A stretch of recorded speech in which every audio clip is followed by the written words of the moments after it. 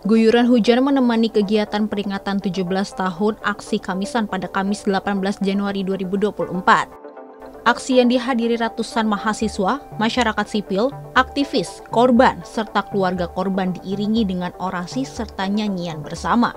Dalam aksi tersebut terdapat salah satu peserta yang melampirkan pesan untuk para penguasa bahwa masih terdapat kasus-kasus pelanggaran HAM yang belum tuntas. Di sisi lain, Direktur Eksekutif Amnesty International Indonesia Usman Hamid berharap aksi tersebut menjadi dampak positif dalam penyelesaian kasus pelanggaran HAM ringan maupun berat.